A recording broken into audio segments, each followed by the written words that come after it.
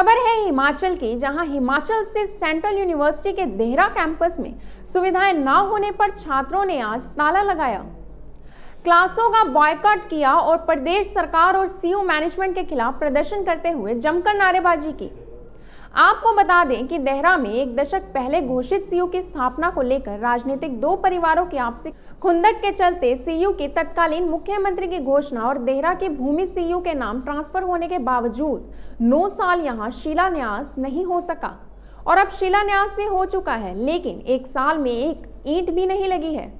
और देहरा में किराए के कैंपस में छात्रों के लिए उचित बैठने की व्यवस्था। सीयू का क्लैरिकल स्टाफ और कैंटीन इत्यादि भी ना होने के कारण छात्रों में रोष है कि उन्हें सीयू और प्रदेश सरकार ने शिक्षा और उसमें दी जाने वाली सुविधा के नाम पर ठगा गया है। जब तक सुविधाएँ नहीं मिलेंगी, वह सीयू परिसर को खुलने नहीं देंगे। कश्यप डिस्ट्रिक्ट हमीरपुर। और आप देख ही रहे हैं जैसे कि हम आए हैं मतलब हमें बोल के इस ये बोल के यहाँ लाया गया है कि आप धर्मशाला में पढ़ेंगे। पर हमें कैंपस मिला गया है आप देख रहे हैं जैसे। आप भी देखें, ये कैंपस दिखाएँ। जिस तरह बच्चे सारे बैठे हैं, ठीक है ये क्यों बैठे हैं इधर बार ये हमें टेम्परेरी दिया गया है। और हमें ऐसे पहले बताना चाहिए था कि हमें जो कैंपस दिया जा रहा है, वो टेम्परेरी है। तो हम आते ही नहीं इधर। सुविधाएँ इधर है नहीं। न इधर कैंटीन है। और जो हम विद्यार्थी हैं सारे सबका शोषण किया जा रहा है एक हिसाब से। जो यहाँ के लोकल्स हैं। पर एडमिशन लिए हैं। हम जिस वक्त इस विश्वविद्यालय में आने के लिए अपने एग्जामिनेशन फॉर्म्स फिल कर रहे थे तो उस समय इस केंद्रीय विश्वविद्यालय हिमाचल प्रदेश के वेबसाइट पर पोर्टल पे जो पिक्चर यूनिवर्सिटी की या फिर जो इंफ्रास्ट्रक्चर या फिर हॉस्टल फैसिलिटी के बारे में बातें की गई थी, वो जब हम यहाँ पर आए तो उसके बाद वो सारी बातें उसके बिल्कुल विपरीत हो गई। हम यहाँ पर आए, ना हमारे लिए यहाँ पे हॉस्टल फैसिलिटी है, ना ही गर्ल्स की सिक्योरिटी के लिए यहाँ पे कोई सिक्योरिटी गार्ड है और हमें बहुत ज़्यादा रेंट देकर इस ग्रामीण क्षेत्र में रहना पड़ रहा है, जो कि हमारे लिए एक मजबूरी हो गई है। हम चाहते हैं कि केंद्रीय विश्वविद्यालय की जो अथॉरिटी है, वो स्टूडेंट्स के लिए, उनकी फैसिलिटी के लिए, जो फैसिलिटी दूसरे कैंपस धर्मशाला और शाहपुर के स्टूडेंट्स के लिए दी गई है, वही फैसिलिटी हमें यहाँ पर भी दी जाए।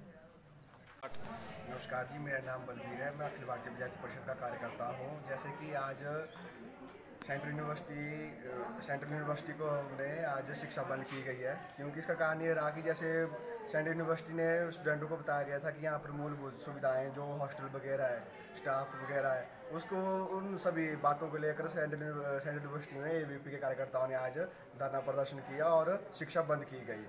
और साथ ही साथ में प्रशासन को ये भी डिमांड रखी है कि जो सेंट्रल यूनिवर्सिटी का स्थायी कैंपस चलाया जा रहा है, उस कैंपस में जो भी मूलभूत सुविधाएँ बच्चों को लेके वो पूरी की जाए ताकि सेंट्रल यूनिवर्सिटी का छात्र अच्छे से अपनी शिक्षा ग्रहण कर सके। और साथ ही साथ में जैसे यहाँ के स्थानीय लोग हैं, इन्होंने क्या किया कि किराए के नाम पर इन्होंने बच्चों का आर्थिक शोषण करना शुरू कर दिया जैसे कि इन्होंने रूम के किराए को पाँच हज़ार से कम से कम सात हज़ार तक इन्होंने रूम का किराया बढ़ा दिया है। अगर प्रदेश सरकार और यूनिवर्सिटी प्रशासन कोई भी बच्चों की मूलभूत सुविधाओं से वंचित रखती है तो यहाँ के स्टूडेंट धर्मशाला में शिफ्ट हो जाएँगे। वहाँ पर अपनी क्लासें शुरू लगाएँगे। जब तक यहाँ की जो अस्थाई कैंपस है, इस अस्थाई कैंपस का निर्माण उचित तरीके से ना हो जाए, या यूनिवर्सिटी प्रशासन कहीं और अस्थाई कैंपस देखे, वहाँ पर हमारी क्लासें शुरू करवाएँ। मैं नीलाक्षी आई हूँ सेंट्रल यूनिवर्सिटी में बट यहाँ पे कोई भी फैसिलिटीज़ नहीं है। हम यहाँ पे सेंट्रल यूनिवर्सिटी के नाम से आ गए हैं बट ना तो यहाँ पे हॉस्टल है, ना कैंटीन है, ना बुक्स प्रोवाइड कराई जा रही है हमें। मतलब हमें बस ठगा गया है यहाँ, बोल।